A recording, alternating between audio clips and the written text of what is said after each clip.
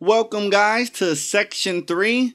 And this section we're going to be looking at working with scalar data. So let's move right along. So what is scalar data? Well, a scalar is the simplest kind of data that Perl can modify. Scalars can only hold one value at a time. Scalar values are usually numbers or strings of characters in Perl. Scalar values can be used with different operators such as the addition operator, minus or subtraction, multiplication, division, and other mathematical operators that we'll see as well in later lectures. And it will return back a result to us with the cal calculated result. The scalar result can be saved into a scalar variable as well. They can also be read or written from files or the devices. Okay, so let's jump in to some examples now. Okay, so welcome to our examples and I'm going to be giving demonstrations of scalar values. So the first thing is I want to set up some containers or variables to store our scalar values. So I'll start with a container or variable called variable 1 or variable underscore 1 and I'll assign the scalar value as a string of characters. So I'll say, hello class.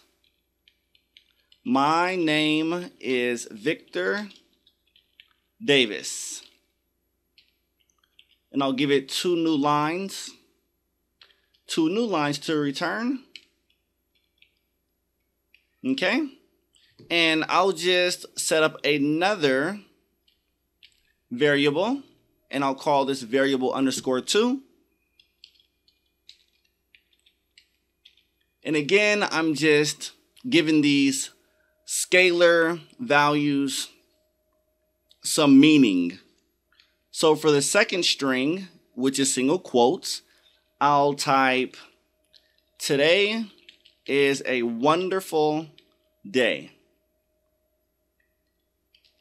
Okay? And I'll create another one.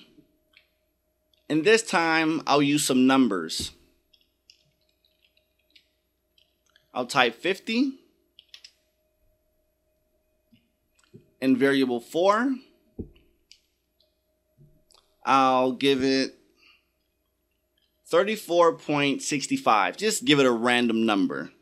So all of these values on the right hand side of the e equal sign are considered single scalar values that we can use in the program, our Perl application. So let's print out our values. So if I take variable 1 or variable underscore 1 and of course, let me add a new line character. Well, it already has a new line character. Let's save our work. We can run it, run script.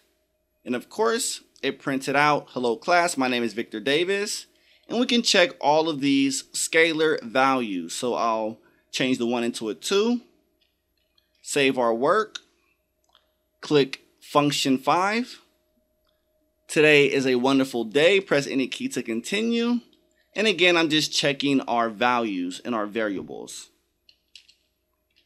Variable underscore 3 is 50. And then, of course, variable underscore 4 is 35.65. So, as we know, we can save only one value inside our container because scalar values are really considered only one value. So let's do some math on our scalar data. So if I do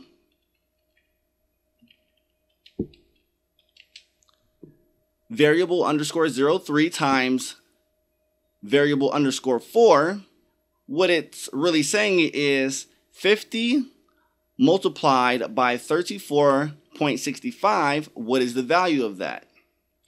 So I'll save that and I'll click F5. So there we have it.